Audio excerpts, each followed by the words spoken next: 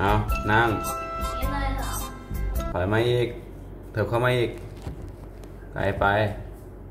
เออ เถิบเข้ามาอีก หิวไหมหิวไหมอยู่นี่เลย ปิดช่วงโควิดมาตอนแรกเป้าหมายเราอะไรนะ มีแผนว่าจะไปลดน้ำหนักกัน แล้วพอโควิดปุ๊บยิ้มปิด จากลดน้ำหนักกลายเป็นเพิ่มน้ำหนัก ขอหน่อย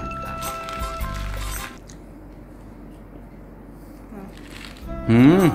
อร่อย อะ ใครอยากซื้อก็ไป search เอานะฮะ ตอนนี้ ปิ้ว มาโอ้จะมืดไหมหน้ามืดนะนี่ วันนี้เปิดซีรีส์ก่อนแต่งงาน อะ EP ศูนย์มีชื่อทางการไหม ซีรีส์ก่อนแต่งงาน EP ศูนย์อะ จบอะเดี๋ยวทำโลโก้แบบงานรีบให้ สำหรับใครที่เข้ามาดูคลิปนี้เป็นคลิปแรกนะครับเพิ่งรู้จักกับเราสองคน เมื่อต้นปี 63 ผมมาได้มีโอกาสที่จะขอแต่งงานโมเมไป แต่งงานกันเฮ้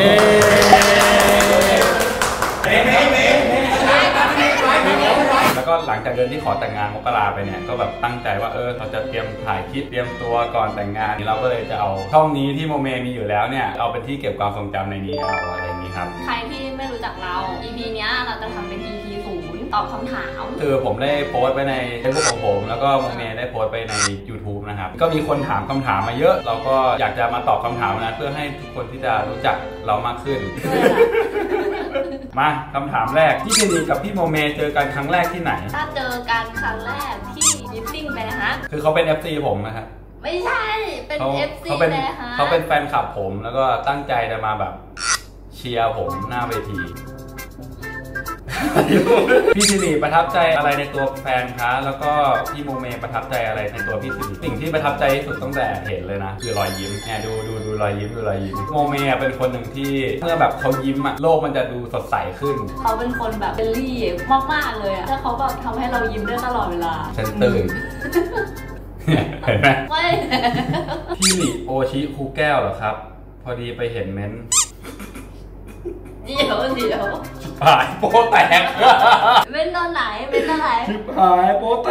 กโอ้ต้องเม้นด้วยเหรอกดไลค์เฉยๆไม่ได้เหรอโป๊แตกโอ้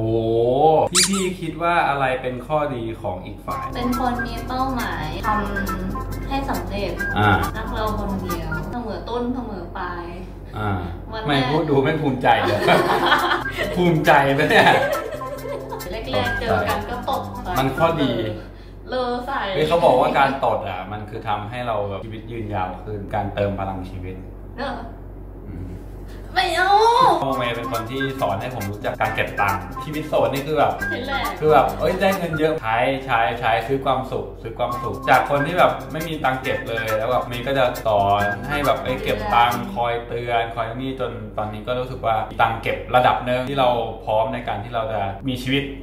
ใช้ชีวิตต่อที่จะเติบโตต่อไปข้างหน้าจากมีลูกผู้หญิงหรือลูกผู้ชาย นี่ชัดมาก ผมอยากมีลูกผู้ชาย มันแบบมันซนได้เต็มที่อะไรเงี้ยสำหรับเขาเนี่ยผู้หญิงก็ได้ผู้ชายก็ได้ ขอให้เป็นคนดี คนดีอืมน่ารักโอ้รักเด็กอ่าโอ้นางเขาไทย